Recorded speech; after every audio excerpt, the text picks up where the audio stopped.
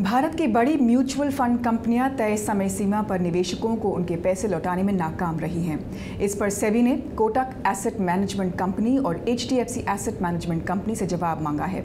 ऐसी परिस्थिति को विशेषज्ञ भारत के लीमन मूवमेंट का भी नाम दे रहे हैं।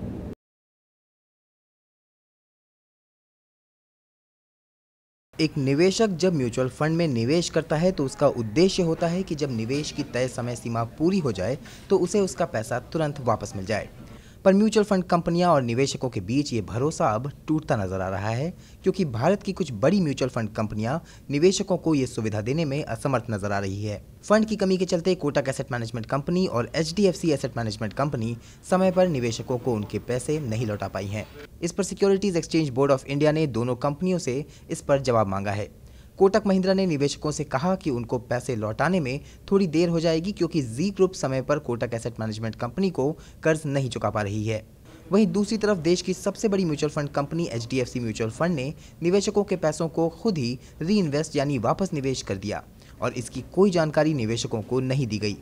निवेशकों से पूछे बिना म्यूचुअल फंड कंपनी ये फैसला नहीं ले सकती है। विशेषज्ञों को डर है कि आने वाले समय में और कंपनियों को नुकसान झेलना पड़ सकता है, जिसके कारण एसेट मैनेजमेंट कंपनियों के पास कैश की किल्लत हो सकती है। इससे अर्थव्यवस्था वित्तीय संकट में डूब सकती है, जिसे इंडिया का लेमन मोमेंट भी कहा जा रहा है। लेमन ब्रदर्स इन्वेस्टमेंट बैंक 2008 में दिवालिया हो गया था, जिसके कारण दुनिया भर में फाइनेंशियल क्राइसिस आ गई थी।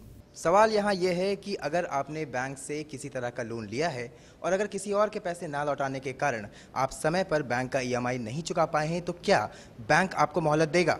और अगर नहीं तो ये कहाँ तक जायज़ है कि किसी और के पैसे ना चुकाने के कारण निवेशकों को इसका खामियाजा उठाना पड़े?